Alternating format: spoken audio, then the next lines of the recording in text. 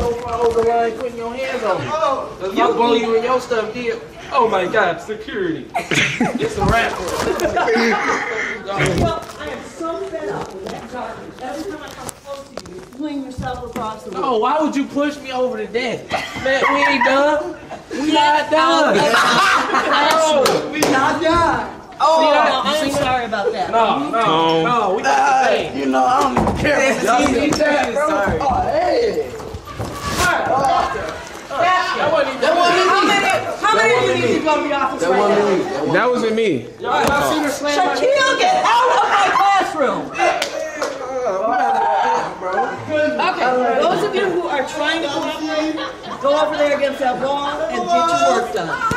Those of you who want to cause trouble, you just stay right here. We'll have some trouble. I want to be